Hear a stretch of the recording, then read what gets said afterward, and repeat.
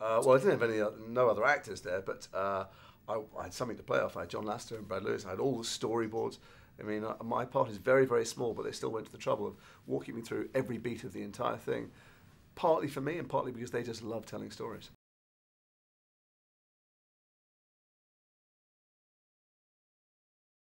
The Godfather. Mm. I think it would have to be The Godfather. One and two, I see them as one picture, but uh, either one is, I think, every frame is genius. Mm. That or Spinal Tap.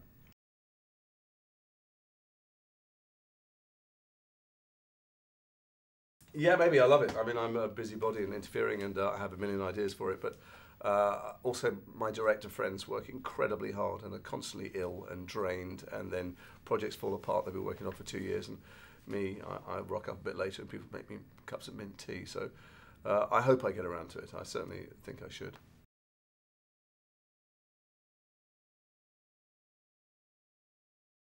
Oh well, actually, mostly I worked with Maria Bello, who uh, was fantastically good fun, and uh, I was not only impressed by her as an actress, but how much time she gives to Haiti because she went and lived in a camp there for a long time.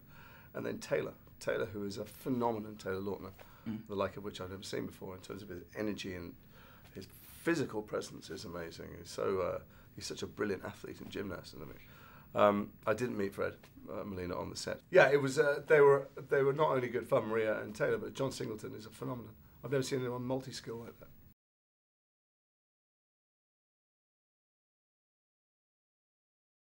Uh, thanks very much. Uh, we need luck. It, American network television is a very cutthroat business. If people don't watch you instantly out of the gate, you're cancelled. Uh, I just loved the pilot script.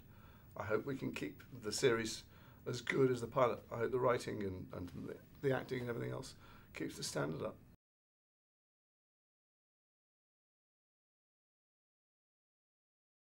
Looks just like Daniel Craig. That's exactly like Daniel Craig. Yeah. You know, I worked with Dan 10 years ago doing uh, a play, and I remember thinking, God, this guy should be James Bond. It's mm. perfect that he is.